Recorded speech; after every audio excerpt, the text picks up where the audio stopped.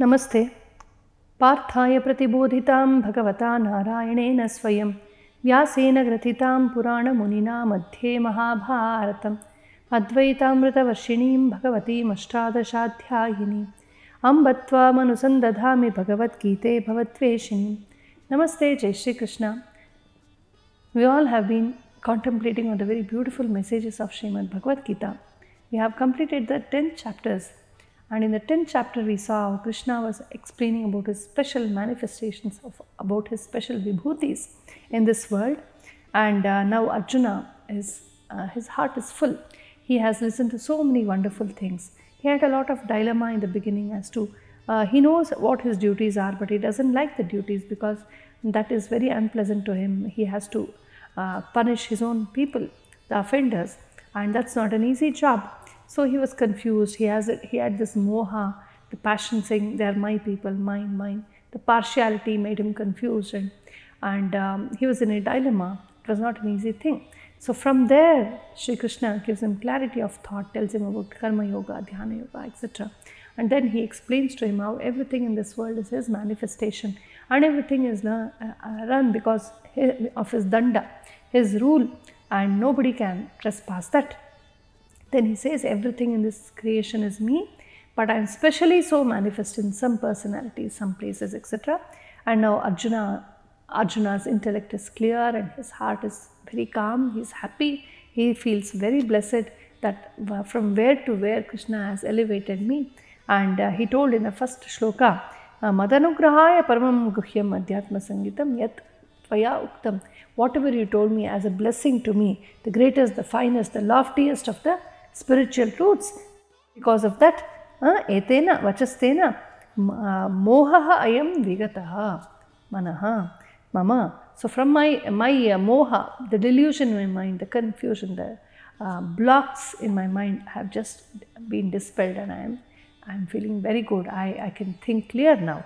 Now he continues in the second shloka and says, Bhavapyayau hi bhutanam shrutau vistarasho maya tvattah kamalapatraksha mahatmyamapi chavyayam bhutanam bhavapyayau the creation and the dissolution of the jivas of all uh, that is created in this world Shrutau Vistarashomaya, you have explained to me in detail about all that you create and dissolve every time in the cycle of creation.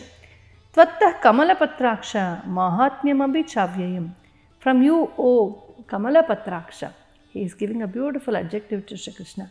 Kamalapatraksha means one who has the beautiful eyes like the like the petals of the lotus. That is the physical meaning, the literal meaning. But Kamala is uh, a very, very special word. It's special it's a symbol, symbol of purity and clarity and beauty and nobility. Uh, we see uh, Vishnu holds a Kamala and Brahma is born of the Kamala. And um, uh, this Surya holds a Kamala in his hands. So many, the, Lakshmi sits on a Kamala and Saraswati sits on a Kamala and there's a Kamala um, Rangoli written before doing the pujas Kamala is a part of our sculpture everywhere. It's a very, very auspicious symbol because Kamala represents purity and uh, detachment, nirlipti. There can be purity only where there is nirlipti. When we know the art of connecting and disconnecting, only then we can be pure. If we are messed up with something, stuck up with something, um, bound to something, and we can just not come out of that, we can never be pure. There will be a lot of agitation within.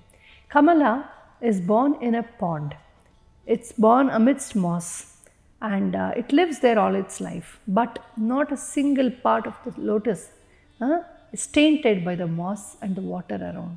It remains untouched. You can just pick up a lotus and see how the petals are so clean, how the stalks are so clean, how the uh, leaves are so clean. Every part of the lotus, nothing can uh, uh, contaminate it. So that is the power of the lotus, being so soft and so uh, supple and so so beautiful, so very uh, delicate. It is still so detached from all the moss and water around it.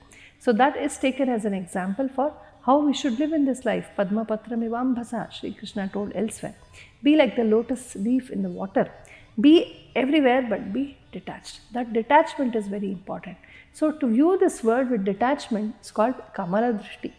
So, um, Kamala in the eye means one who has a pure eye, pure perspective, which is not tainted by any emotion, but a very clarity of seeing. So, he is a Kamala Patraksha or Vishalaksha because he can see the whole of the Srishti in this world in a dispassionate way. But how do we see the world? We see with passions what I like, what I don't like, what is mine, what is not mine. So, we relate to these mortal identities which cloud our mind and, and uh, our drishti is not very clear. It is tainted, it is colored. But Paramatma is Kamala, Kamala, Kamalaksha. His view is clear. He has no moha. So, we can take this suggested meaning also, we can also take the um, meaning that is the uh, explicit meaning where it means he's got beautiful lotus like eyes. Tvattaha kamala patraksha mahatmyam apicha avyayam maya vistarashaha shrutau. So, I have heard you telling about the great mahatmya, your own great glories also you have explained to me in great detail. I am so blessed Krishna that I could learn about this great, how this creation came and how it will be dissolved and how the cycle of creation is happening because of you. And I also heard from you in detail how your great glories manifest everywhere. And very thankfully Krishna is saying, Arjuna is saying these words and uh, next in the next shloka and its successive shloka we see how Arjuna shall request Krishna to actually show his glories. Now he heard the theory. He wants to practically see those things and experience the higher truths of what Krishna actually is. We will see them in succession in the coming episodes. Namaste, Jai Shri Krishna.